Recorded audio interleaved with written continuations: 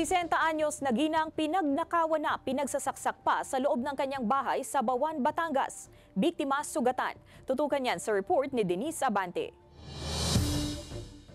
Sugatan ang ginang na ito matapos pagsasaksakin at pagnakawan sa loob ng kanyang bahay sa barangay Manghinao, Bawan, Batangas. Kinilala ang biktima na si Filomena Almonguera, 60 anyos. Ah, sa amin pong investigasyon, ah, lumalabas na habang ang biktima ay nasa loob ng kanyang bahay, eh, meron siya napansin na tao na nasa loob ng kanilang bahay. Kaya lumabas siya ng kanyang kwarto para i-verify or alamin talaga kung may tao sa kanilang bahay. At ang siya, siya, siya ay nasa kanyang sala na, ah, bigla pong ah, inundayan ng ah, suspect, ang biktima ng ah, kutsilyo Saksak sa ulo at katawan ang tinamo ng biktima. Nakahingi pa umano siya ng saklolo sa kanyang mga kapitbahay, ngunit mabilis na nakatakas ang suspect. Nalimas ang 10,000 piso mula sa biktima.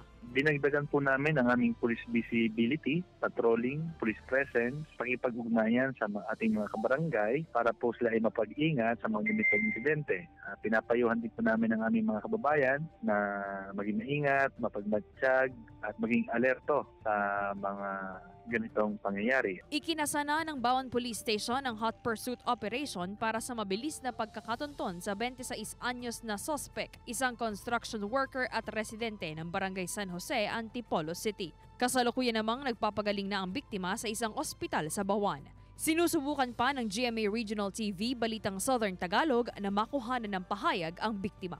Denise Abante, Balitang Southern Tagalog.